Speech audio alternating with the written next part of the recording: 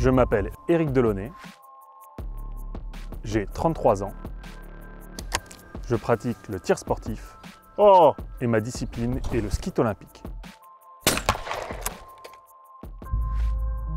Il y a deux cabanes de lancement espacées de 40 mètres.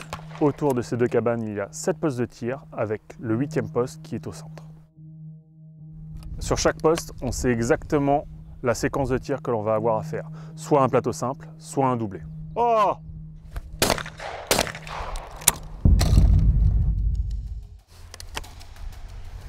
Mes collègues ont une position penchée en avant, moi j'ai une position qui est très droite.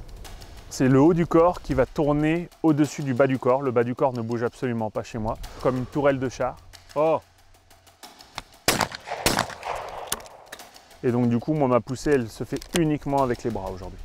J'ai réduit énormément les gestes parasites. Oh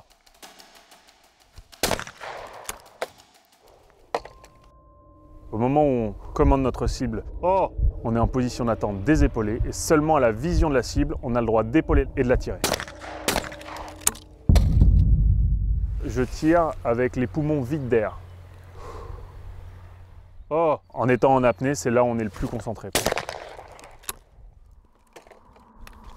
Entre le moment où on appelle la cible et le moment où on l'aperçoit, il peut se passer entre 0 et 3 secondes.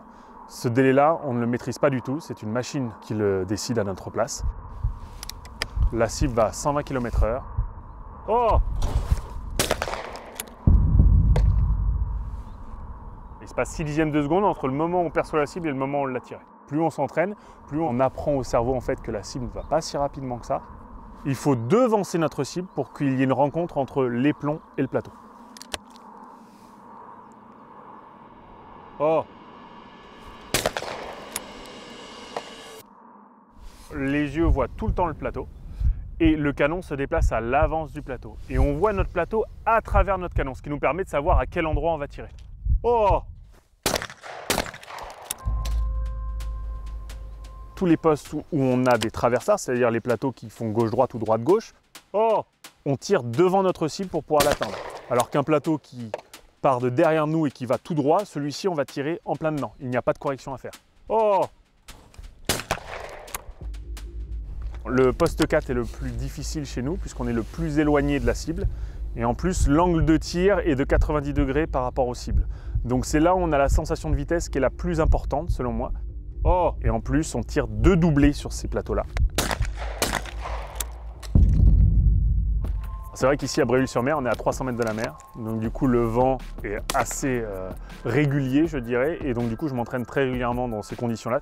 Au cas où il y en a à Tokyo, ça me donne un avantage certain par rapport à d'autres concurrents qui n'ont pas de vent euh, généralement à l'entraînement. Oh